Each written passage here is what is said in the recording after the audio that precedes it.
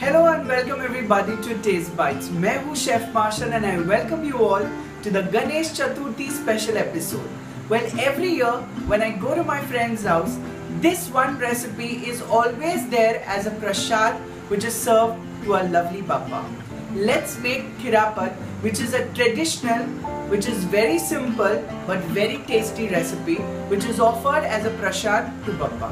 So let's make khirapat.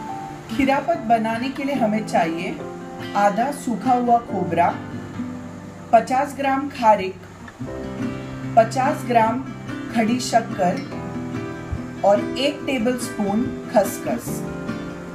सबसे पहले मैं एक मिक्सर के जार में ये जो खारिक है और कुछ खड़ी शक्कर, इसे साथ में मैं दरदरा पीस लूँगा।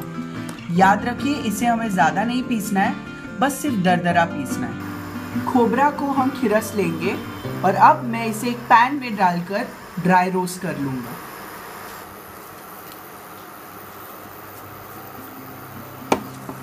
मुझे बस इसे इसी तरह से स्टर करना है। और दो मिनट में मैं इसे एक प्लेट पर निकाल के ठंडा कर दूँगा। आप देख सकते हो ये किस तरह से लाइट ब्राउन हुआ है।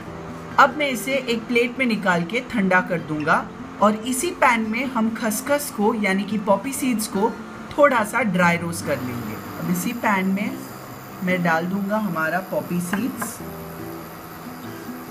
और इसे बस थोड़ा सा ड्राई रोस्ट करना है। ये अब लाइट ब्राउन हो चुका है। अब मैं इसे सेम प्लेट पे निकाल के इसे भी ठंडा कर दूँगा। खोबरा और खसखस अब ठंडा हो चुका है। इसी में मैं मिक्स कर दूँगा जो यहाँ पर दरदरा पिसा हुआ मेरे पास यहाँ पर, जो खारिक और खड़ी शक्कर है, ये मैं अब इसमें मिक्स कर दूँगा। और इसे अच्छे से मुझे मिक्स करना है। तो ये रहा खिरापत तैयार। अब मैं इसे एक सर्विंग बोल में निकालकर हम इसे एज नैवेद्य पप्पा को चढ़ा लेंगे।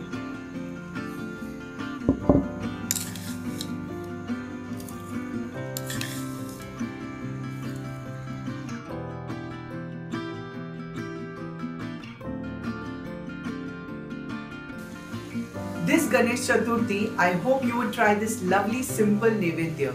Share it with your friends and family. Don't forget to hit the like button. Enjoy the festive season of Ganesh Utsav. Subscribe to my channel if you haven't. And till we meet again, happy cooking and stay fit. On behalf of the entire team of Taste Bites, I would like to wish all the viewers a very happy Ganesh Utsav. Welcome Bappa in an eco-friendly way. Do not destroy the environment.